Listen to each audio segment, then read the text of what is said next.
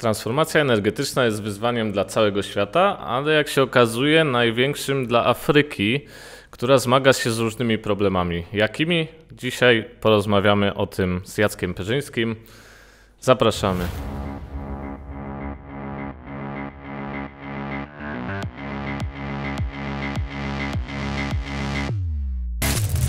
Jacku, tak jak powiedziałem, e, jest problem z tą Afryką. Bardzo duży kontynent. E, wydaje mi się, że zapominamy o Afryce w kontekście energetyki. Troszeczkę jest tak z boku.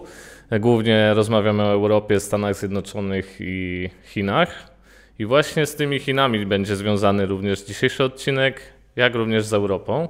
Afryka generuje, jeśli mówimy o globalnym ociepleniu, najmniej najmniej emisji, najmniej emituje do atmosfery, czyli najmniej szkodzi środowisku spośród wszystkich innych kontynentów, ale ma problemy z e, elektrycznością, bo tylko połowa e, ludności, której jest tam miliard, trochę ponad, miliard, miliard przecinek dwa chyba, połowa z tej ludności cierpi na brak właśnie dostępu do prądu, między innymi. Co więcej, w ostatnim roku widzimy wzrost PKB w państwach afrykańskich, e, co jakby sprawia, że Afryka jest bardziej korzystna dla tych podmiotów z zewnątrz, które mogą inwestować w Afryce. Afryka też ma problem z deficytem energii i tutaj z pomocą mogą przyjść OZE z Chin. Na czym miałaby polegać ta pomoc chińska? A więc tak, tak jak wcześniej wspominałaś, w naszych analizach e, zbyt często koncentrujemy się na Europie, Stanach Zjednoczonych, Chinach albo Rosji. Nie możemy zapomnieć o Afryce, która jest potężnym kontynentem i od e, kilkunastu lat e, prężnie się rozwija. Jednak dla Europy i Stanów Zjednoczonych ten kontynent był na drugim miejscu, co sprytnie wyko e, wykorzystały Chiny. E, już wcześniej budowały tam swoją pozycję gospodarczą poprzez projekty infrastrukturalne i oferując im atrakcyjne, atrakcyjne możliwości do budowania obiektów energetycznych. No i właśnie tutaj są też oskarżani o kolonizację, prawda? Tak. E, w tym roku najważ, najważ, jednym z najważniejszych e, projektów energetycznych, które zostaną ukończone, to będzie elektrownia elektrownia e, wiatrowa w Namibii o mocy 50 MW, jak również pływająca elektrownia słoneczna w Zimbabwe o mocy 1 GW. Tak jak wspomniałeś, Chiny są oskarżone o kolonizację, e, jak i również gospodarkę rabunkową. Ale tutaj najpierw chciałbym zwrócić na pewien proceder, e, w jaki sposób działają podmioty z państwa środka.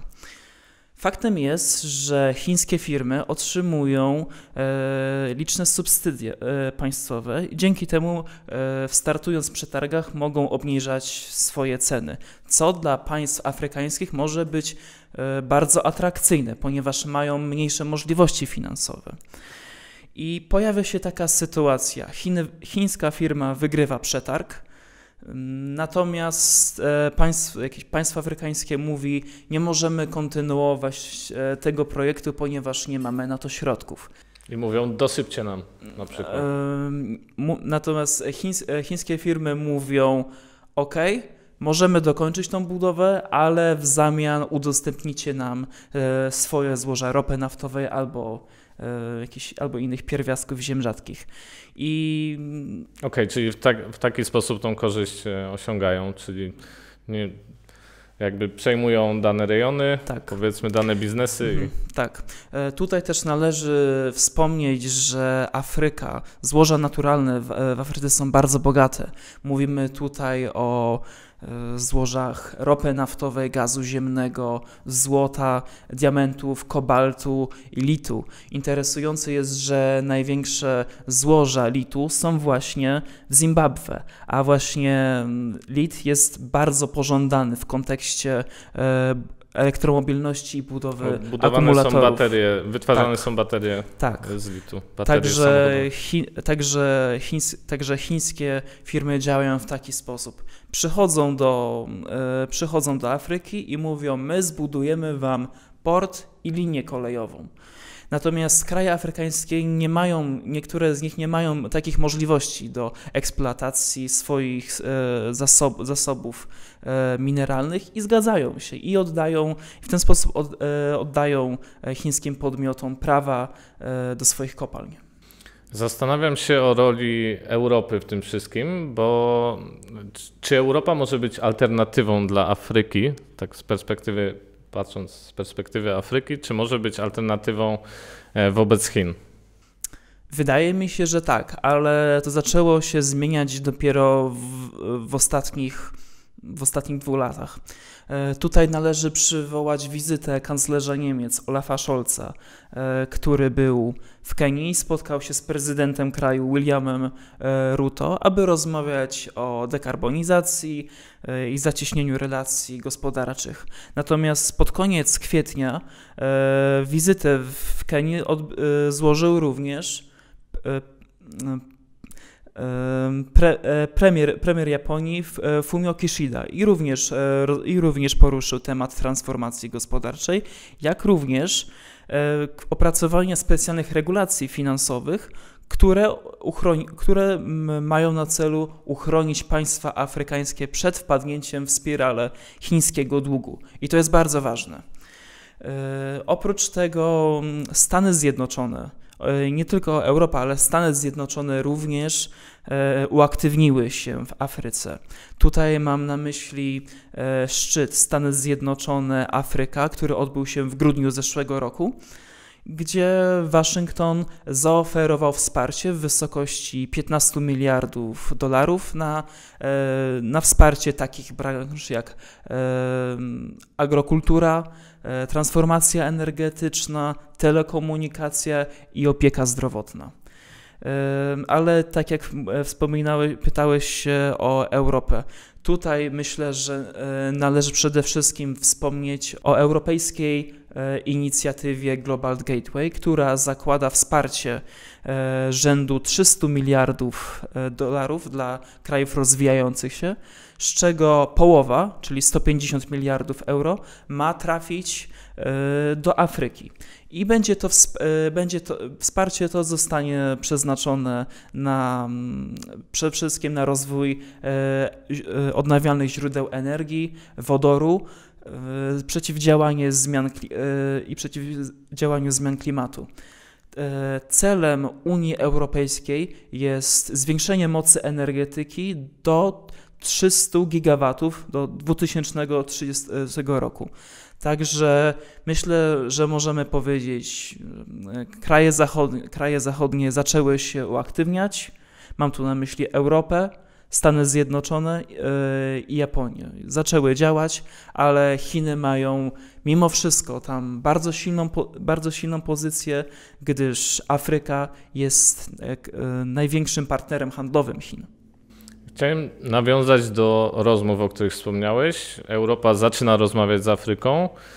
Wiemy, że każdy, każda współpraca musi rozpocząć się od dialogu, ale czy nie jest za późno, bo jednak te wpływy chińskie w Afryce są od dłuższego czasu, a tutaj Europa dopiero, czy nie jest za późno na tą aktywność Europ- Europejczyków?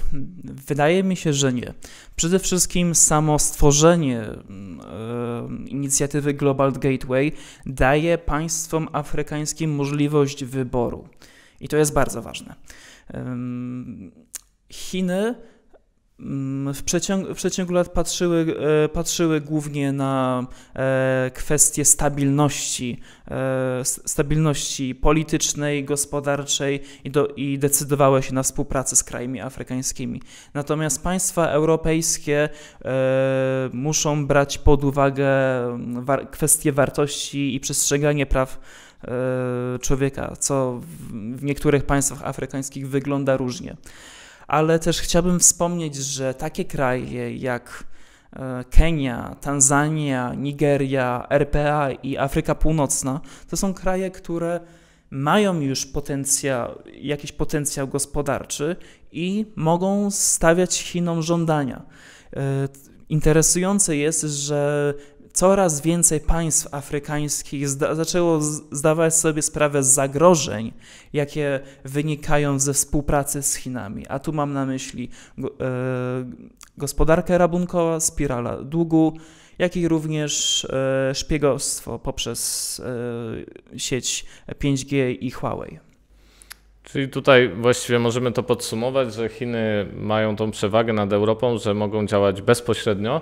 Europa ma dane e, standardy, których się trzyma i musi się trzymać ze względu też na przestrzeganie praw człowieka i tak dalej, i tak dalej.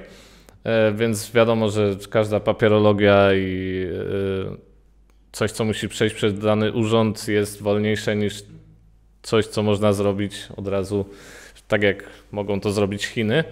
Jeszcze na, jeszcze chcesz jeszcze dodać, na sam, tak? Jeszcze na samym końcu chciałbym dodać, że e, z punktu widzenia Europy i geopolityki ważne by było, żebyśmy wspólnie, również Polska, zainteresowała się e, gospodarką Afryki, gdyż e, wszystkie kraje afrykańskie mają ogromny potencjał. Są to prężnie rozwijające się rynki o, o bardzo młodej populacji.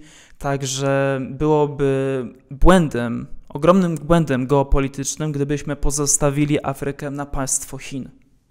Nie zostawiajmy Afryki na pastwę Chin. E, dzięki Jacku za dzisiejsze spięcie. Dzięki. Państwa zapraszamy do sekcji komentarzy. Czytamy. Dzięki Jacek. Państwa zapraszamy na za tydzień na kolejne spięcie. Dziękuję.